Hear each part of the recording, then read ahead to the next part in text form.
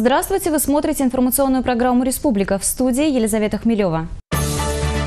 65 инвестиционных проектов реализовано в 2013 -м. Еще 95 в работе. Министр экономического развития рассказал об инвестициях за первый квартал 2013 года. Сбежал из Америки, попался на воровстве в Россию. Неожиданное продолжение получила история с чувашским сиротой. Лучший город России. Есть ли у Чебоксар шанс победить в интернет-голосовании? Первый квартал 2013 года – главная тема еженедельного совещания министров. Всего в этом году на проекты разного направления привлечено 8 миллиардов рублей.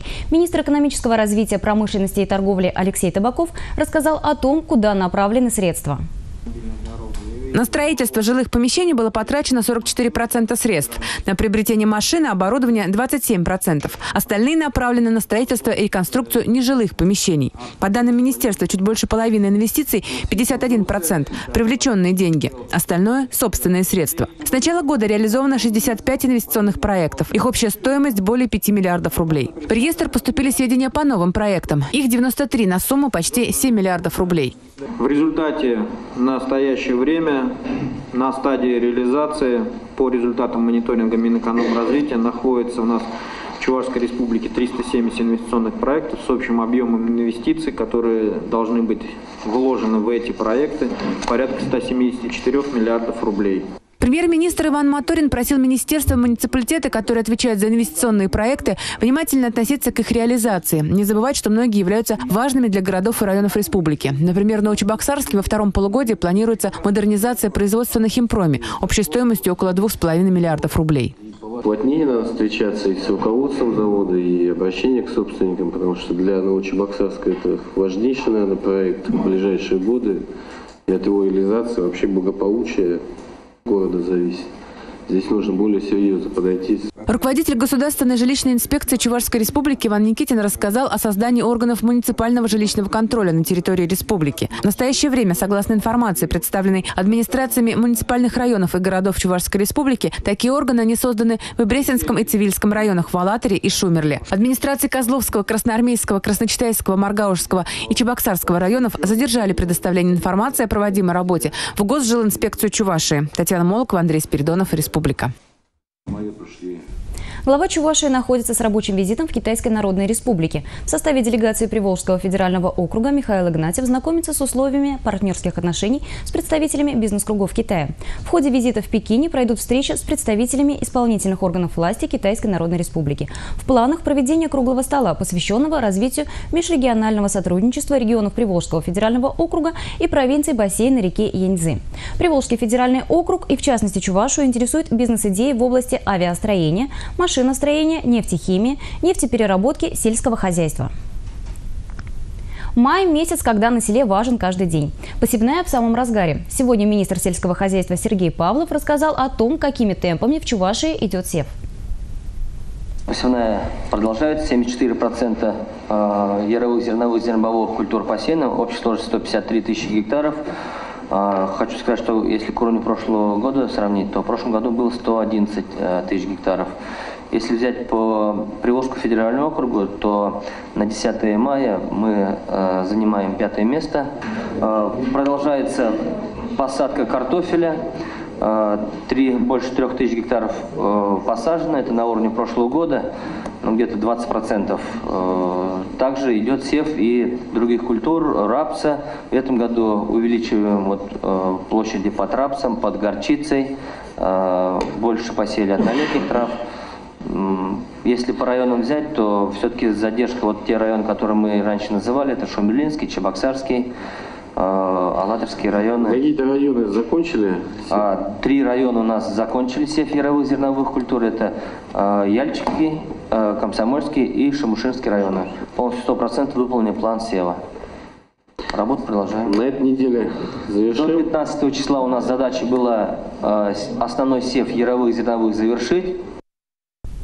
В мае свой день рождения отмечает Общероссийский народный фронт. Два года он был на передовой. Обратить внимание власти, постараться решить проблемы, которые больше всего волнуют жителей России. Для таких целей по инициативе Владимира Путина в мае 2011 создали коалицию общественных организаций, так называемый Общероссийский народный фронт. Общероссийский народный фронт – это платформа всех взглядов, конвенций для дальнейшего развития России.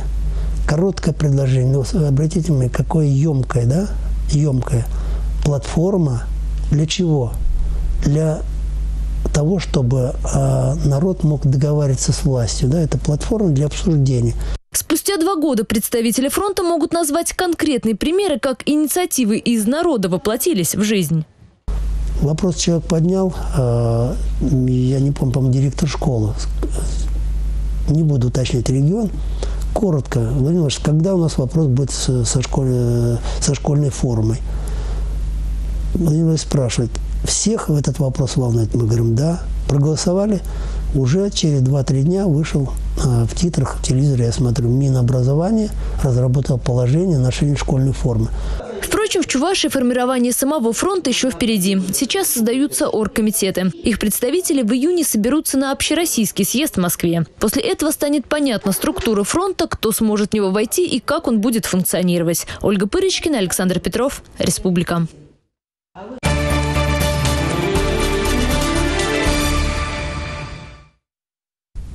Миновал еще один День Победы. По всей республике прошли праздничные мероприятия. В столице Чувашии прошли церемония возложения цветов к братской могиле воинов, умерших от ран в госпиталях города. Акция «Свеча памяти» в память о солдатах, погибших в Великой Отечественной войне. Торжественный парад и другие очень важные для нашей истории и нашей памяти события. Мероприятия, посвященные 68-й годовщине Победы в Великой Отечественной войне, собрали в Чебоксарах 20 тысяч участников. 9 мая без преувеличения – самый светлый и солнечный праздник в году. На Красной площади города повсюду царила атмосфера мая 45-го. Праздничный парад Победы – традиционное и самое главное мероприятие. На марше знаменная группа офицеров министерства полковник Антонов, ассистенты подполковники Ердыков и Балакирев. Танцевальная площадка с духовым оркестром, концертная программа. Праздник отмечал каждый. Развернута была и полевая кухня. По соседству инсталляция привала военных лет. Завершился День Победы праздничным салютом. В течение всего дня общественный порядок охраняли полторы тысячи стражи порядка. Серьезных нарушений за время проведения торжественных мероприятий допущено не было. Такое мероприятие, как э, «Свеча памяти» э, проходило у нас очередной год. Э, э, здесь нужно отметить, что, во-первых, Отдельного призыва о проведении данного мероприятия не было. Информация разместилась в интернете, на сайте. И, следовательно, народ сам, если в прошлом году было тысяч человек, в этом году принял участие около трех тысяч человек. Это молодежь. Георгиевская ленточка. Распространено более 12 тысяч лент. Был организован футбольный турнир в честь, в честь Кубка, в честь Дня Победы. Приняли участие все школы. 8 э, мая торжественное возложение цветков братской могиле воинов э, Великой Отечественной войны. На параде Победы присутствовало более 20 тысяч граждан. Была организована полевая кухня. В 20.30 День Победы было организовано красочное представление и салют Победы, в котором приняло участие более 17 тысяч человек. Действительно, все было четко организовано. Все мероприятия прошли по плану. По плану. Жители города, гости столицы остались довольны. Мелкие замечания есть, но их учтем в дальнейших мероприятиях. К другим новостям. С 14 мая на 5 дней чебоксарцы останутся без горячего водоснабжения. Это плановое мероприятие коммунальных технологий. Жителям столицы придется пережить дополнительные хлопоты. Горячую воду в России ближе к лету отключают каждый год, но привыкнуть к этому все же сложно. С 14 мая горячую воду отключат во всех районах города. Подавать ее начнут с 16 по 18 мая. Отключение связано с проведением гидравлических испытаний магистральных и квартальных трубопроводов, тепловых сетей по контурам ТЭЦ-1, ТЭЦ-2 и двух котельных. В администрации Чебоксар сообщили, что в ходе подготовки к следующему отопительному сезону планируется капитально отремонтировать более 9 километров тепловых сетей, 17 котлов, 20 секций подогревателей, 10 насосов и 25 технических сооружений. В целом в городе к осенне-зимнему сезону предполагается подготовить более 300 километров тепловых сетей. Поэтому летом чебоксарцам еще на две недели придется остаться без горячей воды. В каждом районе города воду будут отключать в разное время, сообщают РИА Новости. Татьяна Трофимова, Республика. Сбежал из Америки, попался на воровстве в России. История с чувашским сиротой Александром Обносовым получила неожиданное продолжение. Информационное агентство «Регнум» сообщает, что недавно на юношу было заведено уголовное дело. В марте этого года он вместе со своим другом попытался украсть из магазина три банки кофе. Подростков задержали охранники. В суде их признали виновными сразу по двум статьям Уголовного кодекса. Тему продолжит Дмитрий Ковалев. Юноше с двойным гражданством, который раньше не попадал в поле зрения российской полиции, скоро придется отработать в пользу государства. 200 часов обязательных работ. Такое наказание в суде получил чувашский сирота Александр Обносов. Его подельнику повезло меньше. 6 месяцев лишения свободы с испытательным сроком один год. Приговор в конце апреля вступил в законную силу. Мама Саши умерла, а отца лишили родительских прав. История об американском беглеце вызвала общественный резонанс. Вернувшись на родину, он заявил, что заокеанские родители его постоянно ругали и даже поднимали руку. Но супруги Салоти это опровергали. Приемная мать Саши в интервью журналистам рассказала, что у мальчика и в Штатах появились проблемы с законом. А то, что наркотики принимал продавал наркотики. Воровал? Воровал. Воровал, правильно сказали, да, я воровал, чтобы выжить на улице. Салотти также утверждали, что подростку в Америке полицейские часто выписывали штрафы за непристойное поведение. Сам Александр в интервью называл себя жертвой. Якобы ему приходилось скитаться по улицам и самому зарабатывать на обратный билет. О том, что за океаном сироте живется так плохо, в России не знал никто. Об этом он не рассказывал даже родной бабушке. В органы опеки приемные родители тоже присылали идеальные характеристики. В течение первых трех лет в установленном порядке шла информация о том, как они адаптируются. Первый отчет, э, э, как, как, как и в наших даже семьях, э, шел процесс адаптации, притирки, выяснения допустимых норм поведения, проверка, может быть, даже родителей. Это и у нас такое бывает, что 13-летний подросток выясняет, насколько он может что-то позволить в поведении, в отношениях с усыновителями.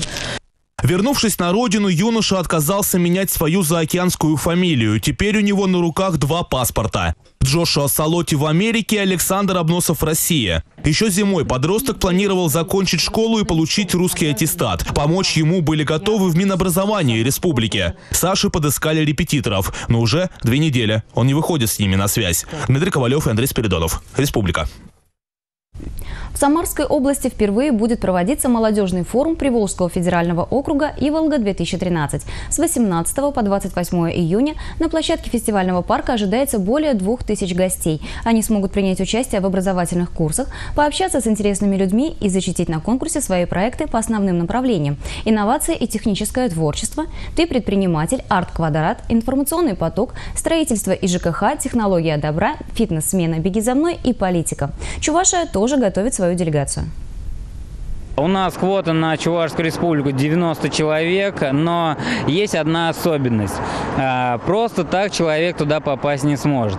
Туда попадут только те молодые люди, у кого есть разработанные проекты. Неважно, на стадии а, разработки или на стадии реализации уже проекта. Самое главное, должна быть некая идея, с которой они поедут. И там будет конвейер молодежных проектов, где они будут участвовать уже в конкурсе, в грантовом конкурсе. И а, у любого проекта это есть возможность получить финансирование или софинансирование на реализацию своих проектов. Таким образом, у нас будет 90 человек уже с готовыми проектами. Но для того, чтобы наша делегация была более сильно представлена а, от Чувашской республики, в мае-июне мы устроим школу проектной деятельности. То есть э, а, мы будем с, нашими, а, с нашим экспертным советом дорабатывать эти проекты, изучать, дорабатывать, и, может быть, некоторые мы уже начнем реализовывать. А финальная проверка этих проектов будет уже на форуме Молгор, то есть это некая, а, а, некий фильтр будет уже для этих проектов. На сегодняшний день на сайте зарегистрировано 136 заявок от Чувашии. Напомним, что заявки принимаются до 15 мая на официальном сайте тройное W и волгофорум.ру. Все же, где в России жить хорошо? Ответить на этот вопрос должен интернет-рейтинг «Город России. Национальный выбор». На данный момент бесспорным лидером являются Чебоксары. На данный момент более 67 тысяч человек проголосовали за Чебоксары как за самый привлекательный и узнаваемый город России. Однако на пятки нашему городу наступает Красноярск. У него пока примерно на 17 тысяч голосов меньше. Третью позицию удерживает Майкоп, четвертую – Владивосток. Замыкает лидирующую пятерку Смоленск, который, кстати, победил в прошлогоднем рейтинге «Город России». Повлиять на результаты может каждый интернет-пользователь. На сайте городроссии.рф можно не только проголосовать за любимый город, но и поближе познакомиться с другими городами-участниками почитать об их истории и посмотреть фотографии достопримечательностей. Итоги голосования подведут 30 декабря 2013 года. Поединки виртуальные, а страсти реальные. В Шумерле прошел открытый турнир по компьютерным играм. Больше 150 геймеров съехались из разных городов по Волжье, чтобы помериться силами в киберспорте. Они отлично владеют стрелковым оружием, без труда ориентируются в темных коридорах, справляются со взрывчаткой и световыми гранатами. Правда, виртуально. Counter-Strike – игра, которая уже давно владела умами молодежи. Эта игра уже стала классикой, на самом деле. Без нее даже не представляю, как играть можно. Я уже организую турнир второй или третий раз. Поклонников контры, так ее еще называют, как оказалось, огромное количество. На два дня в Шумерлю съехались команды из разных городов Поволжья. В списке участников геймеры из Ульяновска, Димитровграда, Самары, Санкт-Петербурга. Федор Смоленцев приехал с друзьями из Мариэл. Раньше занимался киберспортом профессионально. Сейчас много времени отбирает работа, но отказаться от поездки в Чувашию не смог. Приехали мы сюда двумя командами здесь крылы поиграть, посмотреть на Шумерлю, что это за город такой. Я знал, что он в Чувашии. Мне очень стало интересно. По Поволжью мы очень много куда ездили, и вот это место, я думаю, нам запомнится надолго. Уверена, виртуальный автомат держат в руках и девушки. В игре Людмилу Кустякову уж точно побоятся назвать слабым полом. Ходы и пробежки отрабатывались годами. Она играет с 2005 года. Сейчас живет в Санкт-Петербурге. Входит в состав женской команды. Ну, в Питере, в принципе, тоже турниры проходят. В основном все там девчонок нет. Собственно, ну, как бы тоже одна женская команда среди пацанов. Сейчас еще в танки научили меня играть. Еще, еще в танки буду играть. Кибертурнир проходит в Шумерле уже в шестой раз, но так широко шагнул за пределы Чувашии впервые. Идея проводить виртуальные поединки принадлежит местным геймерам. Их поддержал городской интернет-провайдер. В этот раз киберспортсмены соревновались в трех дисциплинах – Counter-Strike, футбол и стратегия Dota. Кстати, виртуальная победа приносит реальные дивиденды. Кроме дипломов, чемпионы получили денежные призы. Теперь организаторы дальше поднимают планку. На следующий турнир ждут киберспортсменов международного уровня. Сегодня в эфире национального телевидения очередной выпуск программы «Качество». В этот раз авторы проекта устроили испытания кондитерским изделиям. Красители вместо натуральных начинок, подсластители вместо сахара. Как контрафакт выдается за качественный продукт. На что готовы пойти производители ради денег? К чему приводит жадность? Известны случаи, когда в конфетах с ореховыми начинками специалисты находили живых червяков. В тортах, выпеченных на московском заводе, эксперты обнаружили частички яичной скорлупы и плесень. Авторы программы попытались выяснить, какими должны быть качественные сладости. Подробнее об этом пойдет речь сразу после после выпуска новостей. И еще одна информация. 15 мая с 3 до 5 дня в приемной президента России в Чувашии будет проведена прямая телефонная линия с представителями управления Росреестра. По телефону 39 36 81 можно задавать вопросы о работе комиссии по пересмотру кадастровой стоимости объектов недвижимости. Представители управления расскажут, как можно пересмотреть кадастровую стоимость, как работает специальная комиссия, а также какие документы необходимо предоставить, чтобы пересмотреть кадастровую стоимость. На этом у меня все. Всего вам доброго. До свидания.